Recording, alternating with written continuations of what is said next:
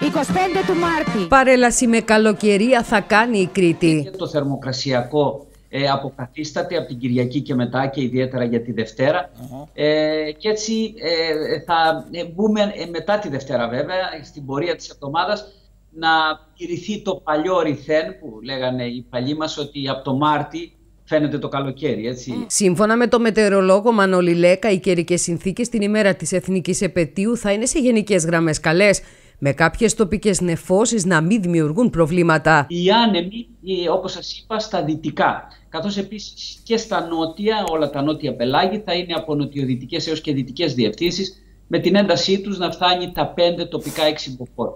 Στις ανατολικές περιοχές, ε, πάντα όμως προς τα βόρεια ε, των, ε, των νομών, αναμένεται ότι θα επικρατήσουν λίγο νοτιάδες. Νοτιάδες οι οποίοι θα ξεκινήσουν αν όχι το πρωί λίγο αργότερα. Δεν αναμένεται να έχουμε ιδιαίτερα μεγάλες εντάσεις, τουλάχιστον μέχρι το μεσημέρι θα είναι στα τρία τοπικά τέσσερα μποφόρ και ίσως προς το απόγευμα πρόσκαιρα να φτάσουν μέχρι και τα πέντε μποφόρ, αλλά προς το βράδυ και πάλι θα εξασθενήσουν. Αυτοί τώρα οι νοτιάδες προφανώς κατανοούμε ότι συνοδεύονται από λίγο θερμότερη αέρια μάζα και έτσι θα δούμε τις θερμοκρασίες της Δευτέρας να είναι λίγο υψηλότερες, να ξεπερνούν τους 20. Δεν αποκλείεται μάλιστα η θερμοκρασία να ανέβει και λίγο περισσότερο, ενώ σύμφωνα με τα μέχρι στιγμής στοιχεία φαίνεται πως από τα μέσα της εβδομάδας και μετά το καλοκαίρι θα μυρίσει έντονα στην Κρήτη. Γιατί τις επόμενες ημέρες το θερμόμετρο πραγματικά θα ανέβει αρκετά υψηλότερα, ιδιαίτερα την Τετάρτη και με κορυφής μάλλον την Πέμπτη. Θα το δούμε αρκετά υψηλότερα. Δηλαδή, πόσο; Ε, λόγω και των νοτιάδων. Ε, ναι. θα δούμε τους νοτιάδες.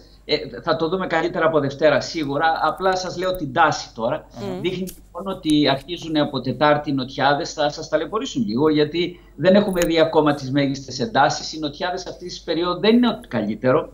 Ε, για πολλούς λόγους.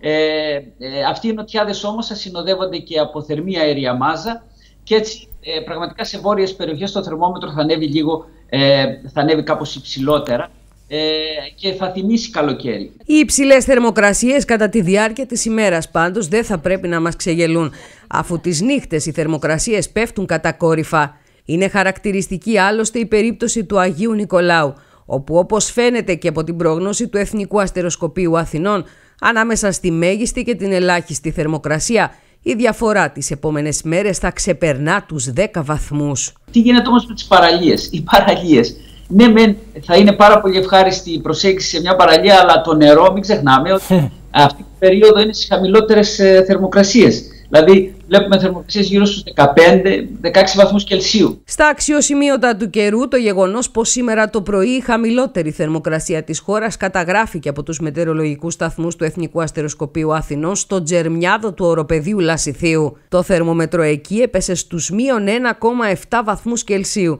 με το λιβάδι Παρνασού και το χειρό Νευροκοπίου να ακολουθούν.